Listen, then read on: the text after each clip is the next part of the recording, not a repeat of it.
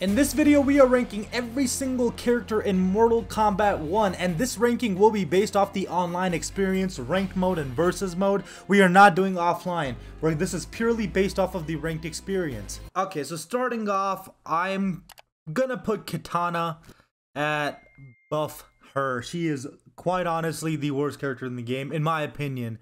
Um, she's definitely at the low low tier. She doesn't zone good.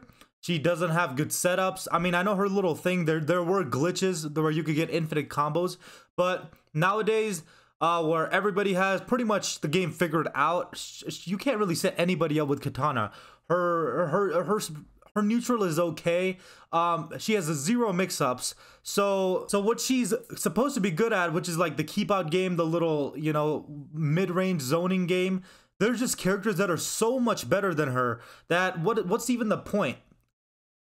So she definitely needs a buff, maybe make her projectiles faster, or maybe make her strings a little more safer. Now, I think the second worst character is not necessarily the worst character, or like not even like at the bottom three, but he's just not as good as the other characters. Like I said, this game there's really not a bad character. Like this, that Kitana is not a bad character. She's just not as good as the others. I think she's the only one that I genuinely think that needs a buff to even elevate her a little into the into the tier list. But Sub Zero is really not that good this year, and I'm not gonna lie. At first, he annoyed the shit out of me, but his overhead is, you know, his only real mix-up unless the person's using Sonya Cameo. Uh, and the overhead is, is somewhat reactable.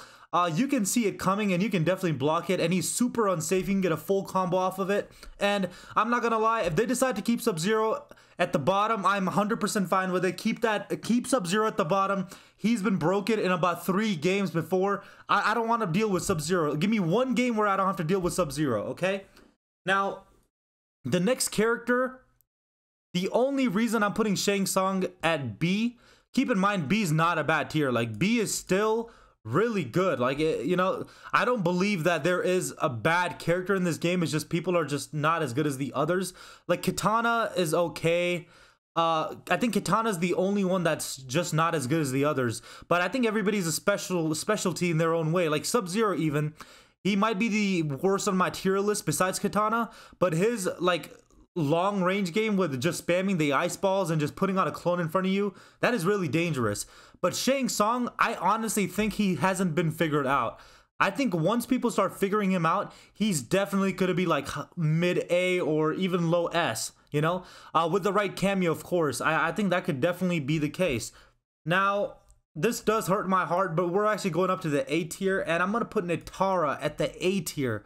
Um, she's good okay. Um, but besides her movement, there's really nothing special to her. Um, I played Nitara day one. She was my first character I picked up. Her overhead is reactable and uh, you are safe if you spend a bar, but it's still, you're spending a bar to be safe on an overhead, and her low really doesn't, you know, go into any combo unless you use Sareena as a cameo or Sub-Zero as a cameo, any of the cameos that like let you have a combo. So it's like her neutral isn't that great either. She has some decent pokes, but her her hit confirming strings are just not good. It's overall just not that good. Not as good as the others. Now, I have Li Mei next, and I'm not gonna lie, this is I think my first bad take, but I just can't bring myself to put Li Mei over the other characters. Maybe it's because, you know, we had her in the beta, but I just personally cannot bring myself to put Li Mei over any of these characters at the bottom because I've seen the potential of every single one of these characters and I think it does far I, I far exceed Li Mei's potential and just gameplay wise overall. Now, the next one I have is actually Sindel. I just made a video on her. If you guys didn't know, I've I've played a lot. I've played like 99% of the roster, and Sindel, although is not weak, she's also not strong.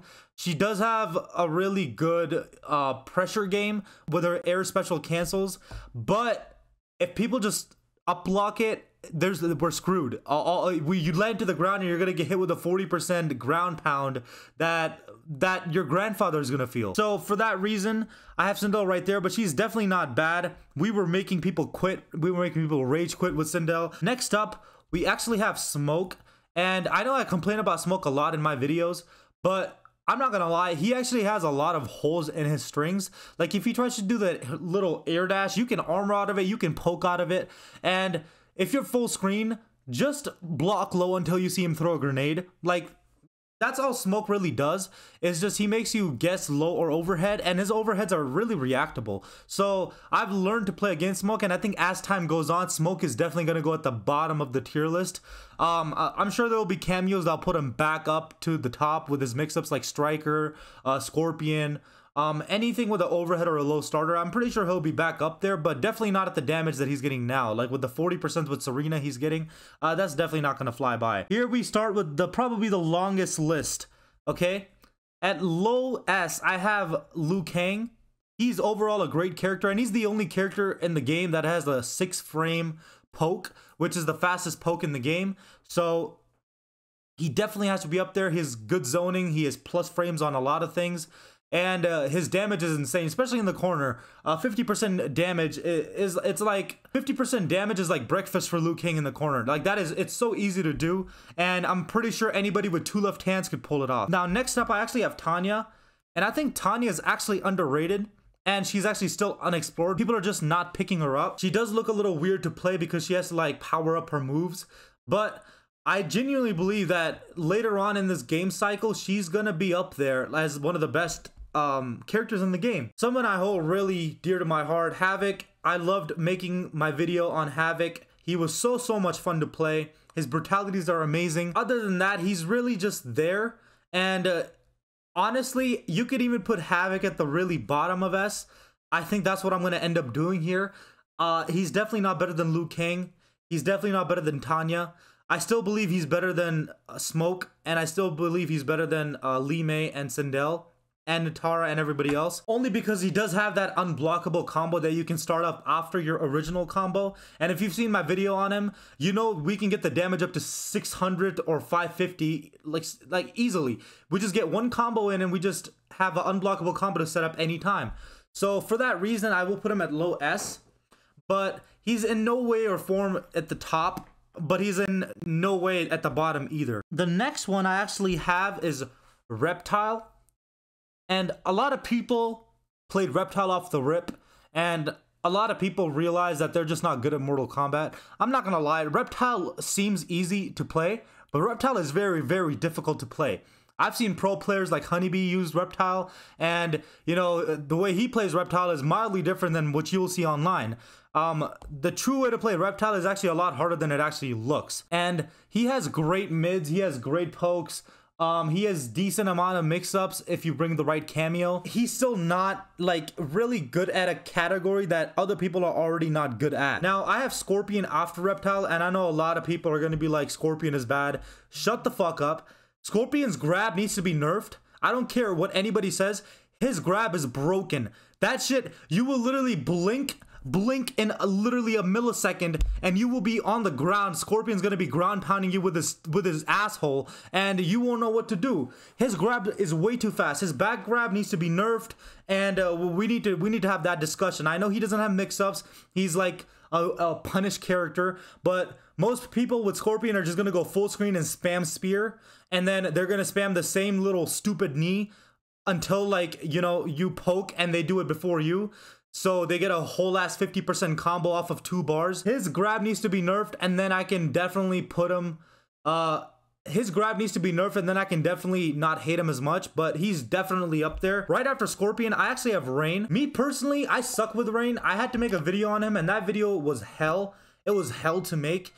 But I will say, after watching a lot of pro players and like tournaments, Rain is really, really good. I said in the video his normals are really good, his special moves are okay, uh, but with the right cameo like Scorpion and Sub-Zero, he is truly scary even close up. Scorpion will give you 37% combos, and Rain is supposed to be a zoner. He's supposed to be a keep out character. He's pretty much a good Kitana. If Kitana was good at Mortal Kombat, that's what Rain is. And Rain is just a better version of her. He's definitely the best keep out character in the game right now. Uh, maybe besides Reiko. Reiko's little shurikens are really annoying. But Rain has his little water shield to always outzone the other person. And there's also cameos like Sub-Zero that help you outzone. Now, next up, we actually have my favorite character, my main character, um, General Shao. He is definitely S tier. I don't know if he's nerf material, but he's definitely S tier. And he has amazing startups. He has a crazy damage. With Sareena, you can get like 44% every single time on a hit. With Sub-Zero, you can get 41% every time. My personal favorite right now is Motaro because Motaro makes him a true 50-50 character. So people are really gonna have to guess whether you're gonna go for an overhead starter or a low starter. So I definitely have to put Shao up there. He's amazing strings. He's plus on a lot of things.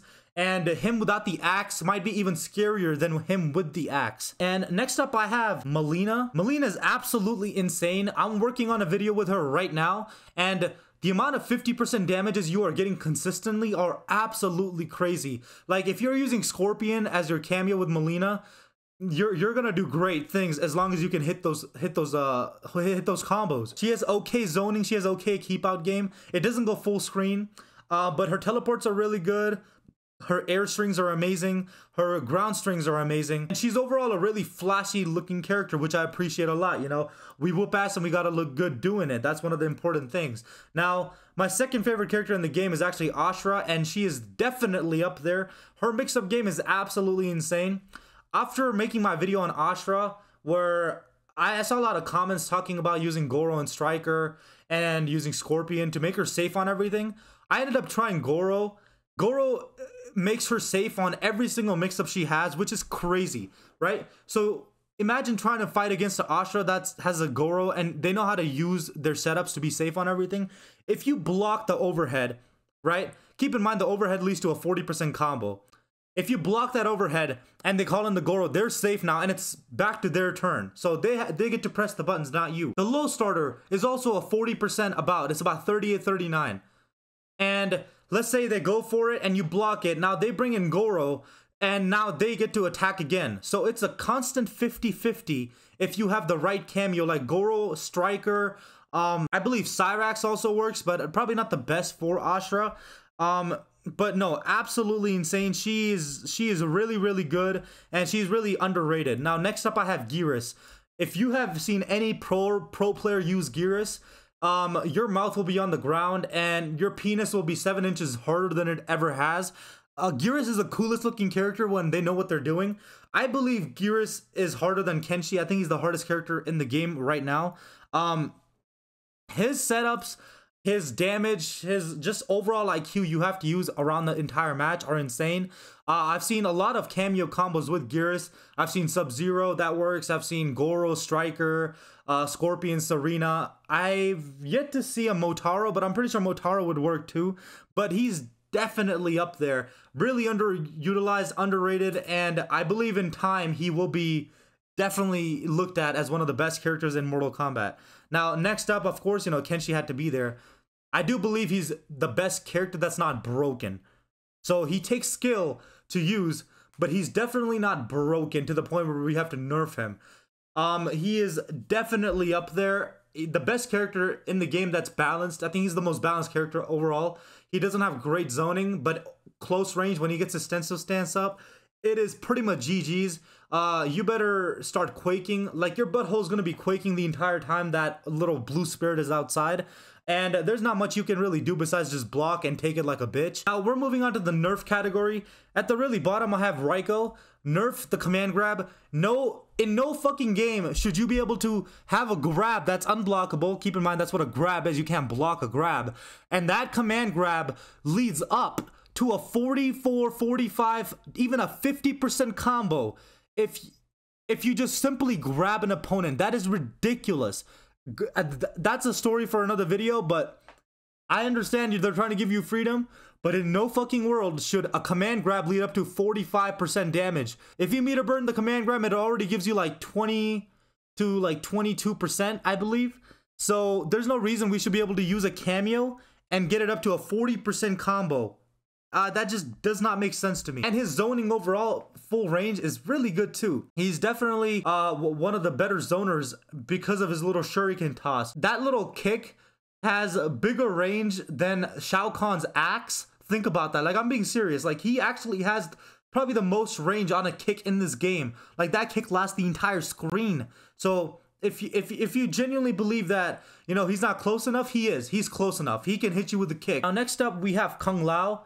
This man has a wake up that is armored and can be launched if you're using the right cameo, and it's safe. He has the only safe wake up in the game. You can't punish it. It's really, really hard to punish. And if you can punish it, it's not going to be for, for full damage. He's definitely one of the top tier characters. He has a true 50-50 if you use the right characters.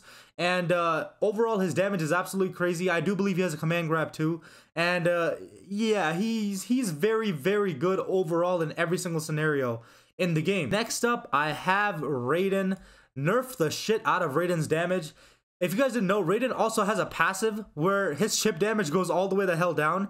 And let's say a chip damage, let's say you're chipping somebody out and you do like seven buttons and a normal opponent would get chipped out for about 7%, right? Raiden's passive, you'll probably chip him out for about 3%. That's how much the change is. Like it is insane. I think it's like half. So nerf his damage and that passive is okay as long as the damage is nerfed. He should not be getting 45% combos off of the same stupid fucking cartwheel that he does every single combo. That is crazy. And he's good with like every cameo. So it's just, it's like, what are you supposed to do against that? Now, now I hate Johnny Cage. He's safe on literally everything. It feels like he does a move and then it's just never your turn. He will continuously just mash buttons and you will just sit there and you will say, yes, daddy. And then you will take it until your life bar is at 0%. So I definitely don't like Johnny Cage. Johnny Cage and the Kano combo is nightmare fuel, and it's one of the hardest things to actually like get out of pressure from. That stupid Kano ball catches you every time. Hands down, the best character in the game right now is Baraka. Baraka gives you 50% damage on every little damage you can possibly get. Every single starter he has goes to a 50% to a 53% with one bar, and he's safe on everything because he has Cyrax. Like, that is insane. Baraka is easily the best character in the game. Anyways, that's gonna be it for today. Like the video and subscribe to the channel. If you want to see some people rage quit or you just want to see me combo up, I'll put some videos on the screen.